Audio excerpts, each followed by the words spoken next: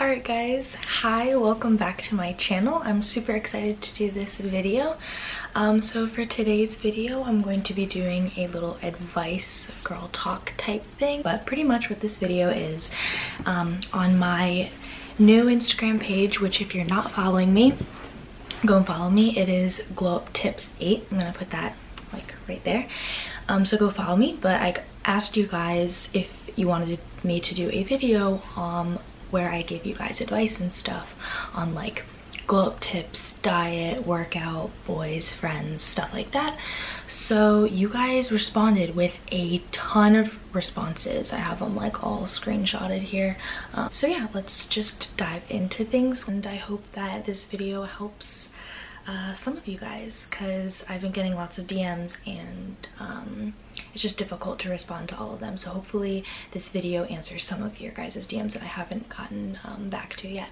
But yeah, I hope you guys enjoy this video. Um, if you have not subscribed yet, please subscribe. And yeah, let's just dive into things and I'm super excited to get this started. All right, oh gosh, my camera. Okay, so the first question I had um, is why did you start to glow up?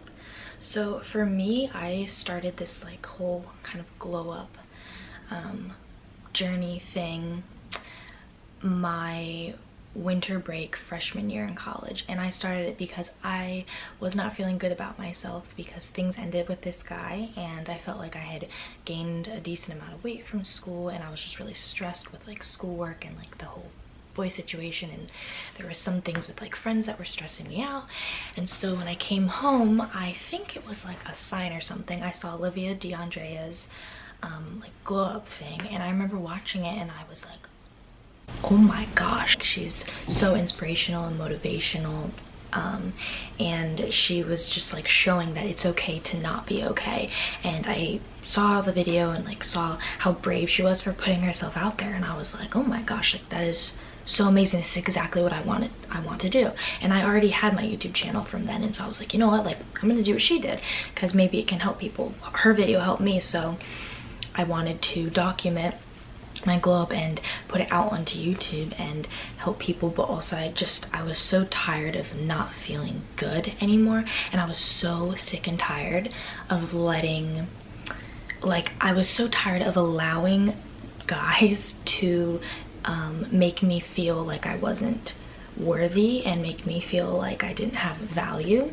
So I just, honestly, I was so sick and tired it. I was like, I can't, I'm just done. Like I'm done feeling, I'm done feeling bad about myself. So I just started the journey and I know a lot of people ask me like, how do you get started? I don't even know how to get started you don't have to know everything. You don't have to have some sort of perfect written out plan. You don't have to be that knowledgeable on like dieting and working out and all that stuff.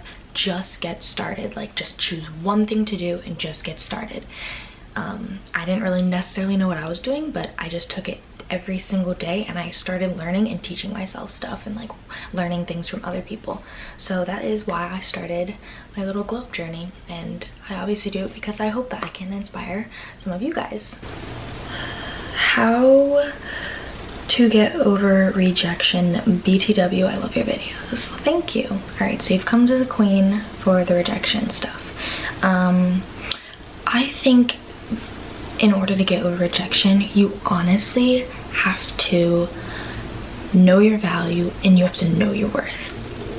When I was in high school and I would get rejected by guys or they like I would be like, oh hey, like I like you as more than a friend and they would be like, no, I don't like you like that. I used to get so upset and so hurt by that. And now if someone didn't like me, I didn't give it. if someone leaves me unopened, I don't care anymore. Um, I just, I don't see, like when I was in high school, I didn't know my value and I didn't know my worth and I used to think to myself, oh wow, like that guy rejected me so I must not be pretty and I must not be smart enough. Like I must not be enough. And you have to realize that that's not true. Just because a boy rejects you or doesn't like you back or moves on to someone else doesn't decrease your value as a person. I think it is all about feeling confident and secure within yourself and I used to not feel that way. I used to allow these guys' opinions um, of me determine my own opinion of myself. And you can't do that. You can't allow uh, someone rejecting you to make you believe that you aren't pretty enough and that you aren't smart enough and that you aren't good enough because you are enough. Um, and it, like you, you like you are enough. If Beyonce can get cheated on, you know, and it's Beyonce, like we all think she's beautiful and smart and talented, and she got cheated on. That doesn't decrease her value. That doesn't mean that she's less. That doesn't mean that she's not pretty enough or she's not smart enough. So you have to just know your value and know your worth. So you just have to honestly feel so confident within yourself and just know that it doesn't matter if someone doesn't like you back because you know that you're a boss, you're a bad bitch. It's just that stuff doesn't matter. That doesn't take away from you as a person. That doesn't mean that you're any less just because one person didn't like you back or even if it's a list. Trust me, I had a lot of guys that didn't like me back in high school and that's fine. So you just you just have to know your value and just know your worth. Um, someone says, how do I stop binging?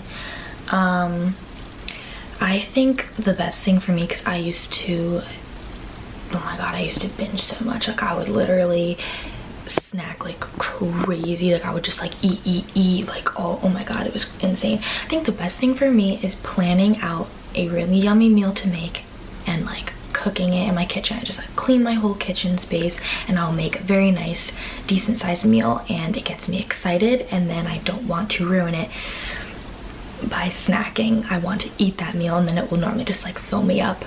Also, I'll drink like lots of tea and stuff to help fill up my stomach and then drink lots of water. And I'll try to replace like junk food and stuff for healthier options. Like I love cutting up an apple and putting peanut butter on that um, or like dipping vegetables into hummus. Um, or sometimes I'll have like a little bag of popcorn or something. Um, I just think looking up just healthier snack options um, and also just like trying to plan out your meals that you're going to eat um, because I'll I love cooking and like making a meal. It's fun and then I don't want to like ruin um, it by like eating a ton of like junk and stuff like that so Someone just said, if you want to eat something unhealthy one day, like junk food, will you? Yeah, I will. Um, obviously, I try not to do it every single day, but I think, once again, going back to what I've said, it's really about balance and like maintaining that balance. So I don't do it all the time, but like if I'm out with like friends or something and I want like to eat something that's like a little more junk food, I'll do that. And then I'll try to find like healthy junk food options. I think good advice for not like uh, binging on junk food all day is just pick one thing that you really like. I love dark chocolate stuff or I'll have like vegan ice cream or little oatmeal balls or whatever, like little raisin ones. And that's like my dessert. And so I look forward to it and then I will eat it as a treat after my meal. So I'm eating that like two times a day. And it's not even like I'm eating an entire Pop-Tart or something. So, okay, so someone said I'm pretty unmotivated and I don't even know if this is all going to be worth it in the end. So I'm just gonna kind of read what I wrote today on one of my Instagram posts. So I said, will it all be worth it in the end? Yes. Even if you are not seeing results right now, do not give up. Think the issue we have when we start eating healthier and working out more is that we don't make it enjoyable. So when we don't see results right away, since it's not fun anyways, we just give up. Make your healthy eating delicious instead of restrictive. Make your workout fun instead of a chore to do. If you don't see results right away, no worries, because everything you are doing is enjoyable and you won't want to stop. Everything will be worth it though in the end, so don't give up. I think that is the most important thing to continue to stay motivated is to, when you're eating healthy, not restrict yourself. You're eating healthy and it's delicious and so it's fun and enjoyable for you. when you're working out, you found something that you like and that you are eager to do every day. I think that is something just to continue to stay motivated, um, even when you feel so unmotivated. So just try to do things that are enjoyable and fun that get you excited and make you want to do that thing every single day. Sometimes I feel like trash. I feel ugly, fat, and stupid. Like I can't control myself. Help, please. Um, so I'm sorry that you feel it that way. That's very sad. And um, I do understand um, some of what you're saying because I have felt those ways before, um, especially back in high school. I used to feel unattractive and I thought I was a loser. Um, honestly, I think that just comes from being confident within yourself. And as hard as it is, you cannot think that way. You cannot stop calling yourself ugly. Stop thinking to yourself that you're less or that you're not smart or that you're fat or unattractive. You need to start start faking it until you become it. Like the quote, like fake it till you make it, fake it till you become it. If you don't feel any of those things and you feel very negative about yourself, you need to change your mindset and start believing that you are those things. You need to start looking at yourself in the mirror every morning and saying, you know what, I am beautiful. You know what, I am smart. I am talented. Even if you don't feel those things, just fake it. Just keep saying it out loud to yourself. Keep thinking it to yourself, and I promise you, the more and more you say that, the more you will become secure within yourself and the more you'll believe that about yourself. Is me in high school, I, I had value and I had worth and like I deserved to be happy and I I deserved to feel good about myself back then. And the only thing really that changed was my confidence. And yeah, I lost a little bit of weight, but I was still the same person then than, than I am now. So I shouldn't have said those things about myself back then and I'm not saying them about myself now. So why would, why did I say them back then? So don't talk to yourself like that. And you just have to learn to truly love yourself and to just feel good about yourself. And that energy radiates. And people will see that and it will like come off of you. And then they will start to see you as more attractive more beautiful because the way you carry yourself and your confidence. If you walk around with your head down low and you're with friends like I, have had friends before where they're like oh my god i'm so ugly i'm so ugly i'm so ugly i'm so dumb i'm so dumb. And it's like the more you say that the more people are going, going to believe that so you need to start saying like to yourself, I am beautiful, I am smart, like I have value, I have a purpose. Um, like I'm not stupid. Like don't say those things about yourself. Carry yourself even if you have to fake it. Like I don't care. Like I see so many of you guys being like, yeah, but I don't believe it. I don't believe it.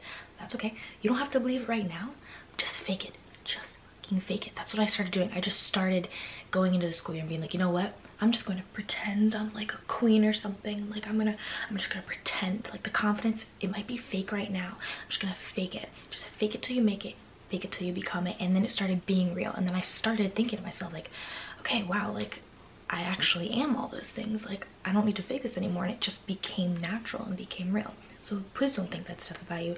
Okay, and we're back. Okay so yeah people keep asking me like skincare uh, stuff like that. So i think the best tip i have for skincare honestly um, is to try to find like i don't really think there's necessarily anything specific. I think try to find something it's like trial and error just like test it out try to find what works best for your skin. It's taken me a while. Sometimes my acne fluctuates. Sometimes my skin looks good for a couple weeks and sometimes it'll look really bad.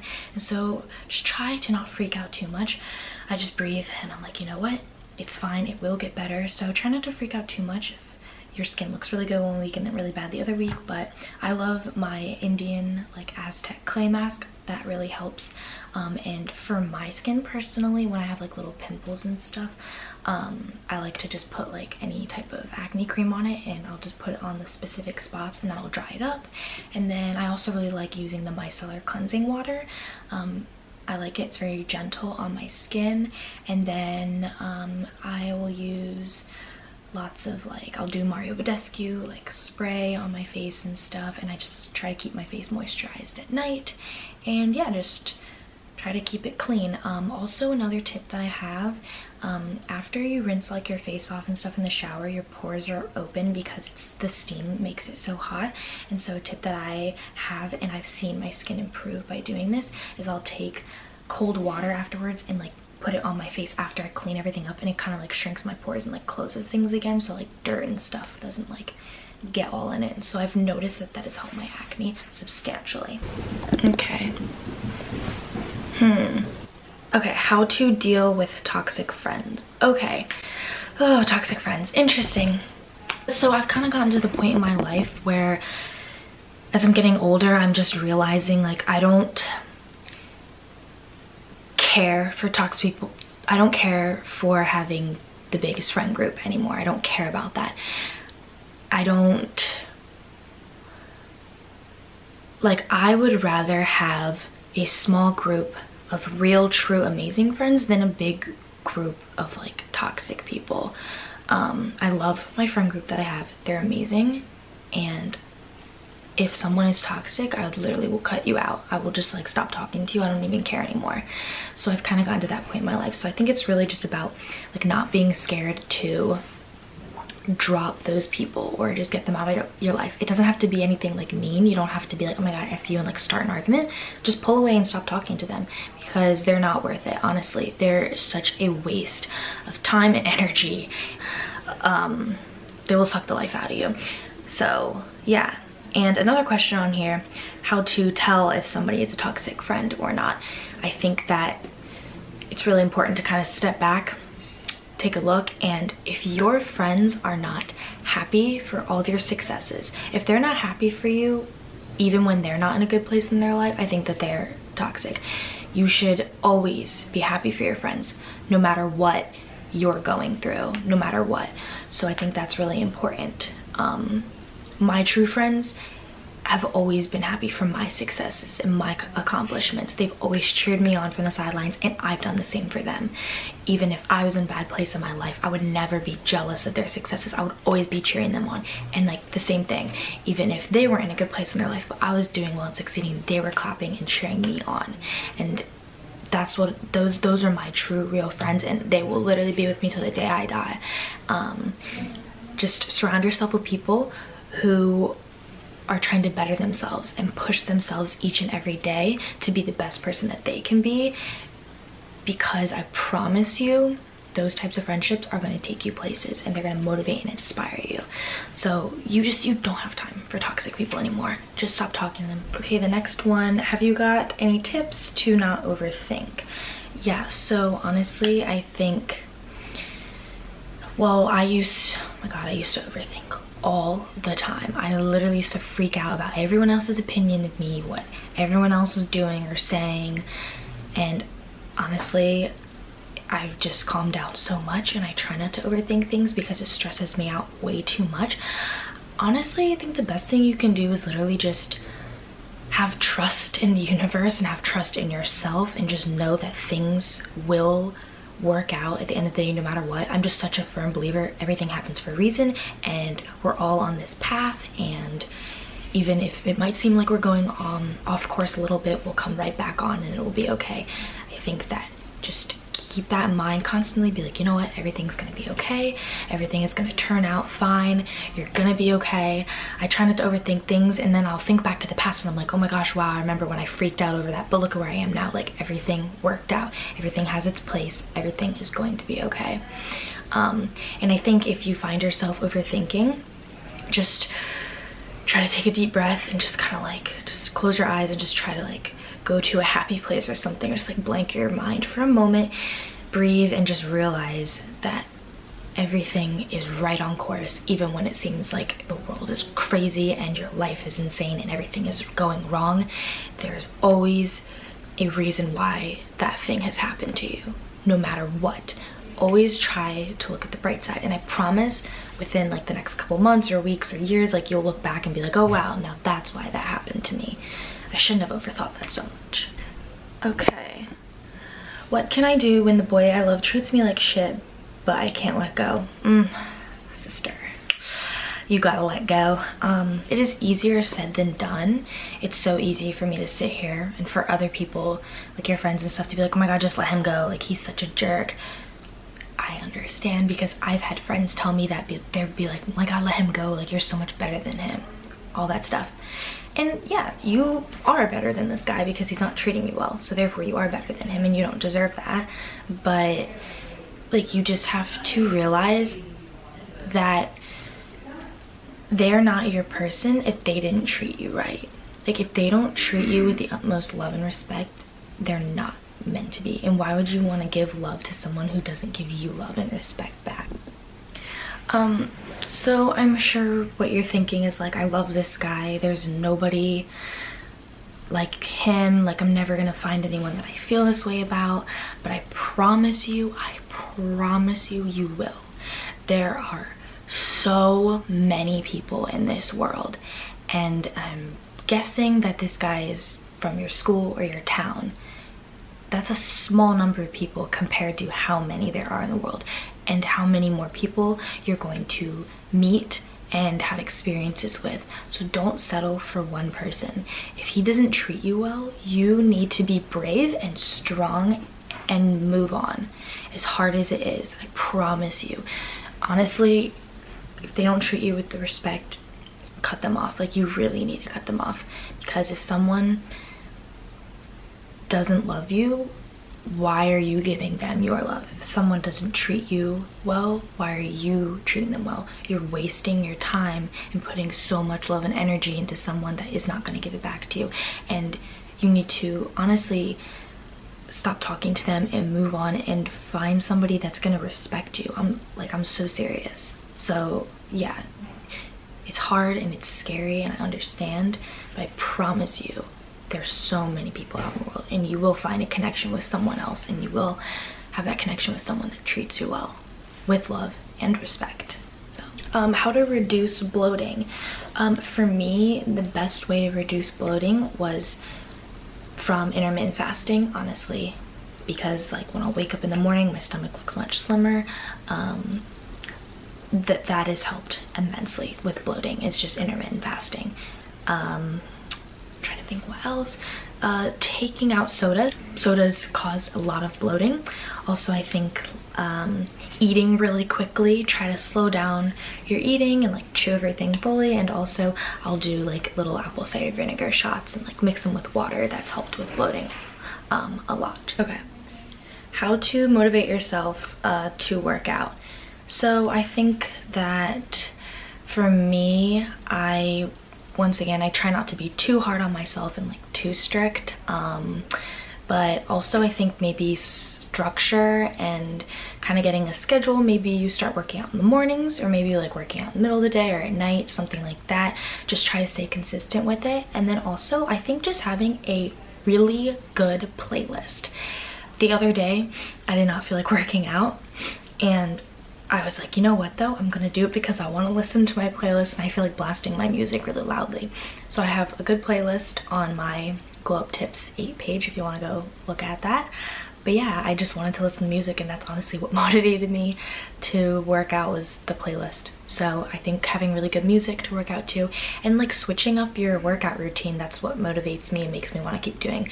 I used to go to the gym and only run and then do weights and that's so boring, so boring. So go online and try to find new things. Recently I've been doing lots of like Zumba exercises. I'm not a good dancer at all, but I did Zumba for like four or five years or something. So I think mixing up your exercise routine and just finding new fun things. I was getting a little bit bored. I had been boxing a lot recently and I was getting, not bored, but like it was just kind of becoming, you know, the same thing and like kind of regular. So I was like, you know what is gonna be fun for me?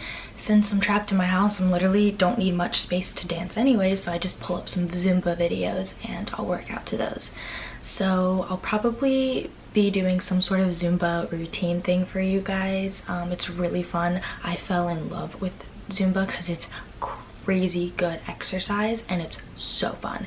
Um, and it sometimes feels like you're not even working out. So i'm to be kind of collabing with one of my friends ella because she's i think she's a licensed zumba instructor. So hopefully i'll be putting some stuff either on the my youtube channel or on the uh, new instagram account that i have. So yeah but that is how I stay motivated. Just try to switch things up, find new fun things, and have a really good playlist. And don't be too hard on yourselves. Alright guys, so I know I didn't get through everyone's questions. Um, I hope that I did the best that I could with answering. Once again, I'm trying to get back to all your DMs. I know it's taking a little bit of time. It's just um, difficult because I'm, you know, still trying to do stuff every day, like schoolwork and like things on my own and so it does take up a lot of time but I am and I see the uh, DMs and they're super sweet and I love them and I am trying to get back with all the advice. I hope this video helped you in some way shape or form.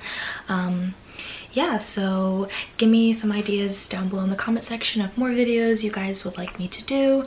Um, but yeah, I hope you all enjoyed this video. If you haven't subscribed yet, you should subscribe. Thank you so much to all the new subscribers and just everyone who has been subscribed for quite some time now. I appreciate all the love and support you guys are amazing. Um yeah i love you all so so much. Please stay safe out there with the whole uh, quarantine like corona thing. It's definitely really scary. So um, i'm thinking of all you guys and your families. I just want you to stay safe. I love you all so so much. Just know that you've got this. Um, you guys are amazing inside and out. And last little bit of advice i give you is to make sure you believe in yourself. I believe in you. Um but even though I believe in you, you guys have to believe in yourselves. So make sure you believe in yourself and honestly, once you believe in yourself, you can accomplish anything and it doesn't matter what anyone else says.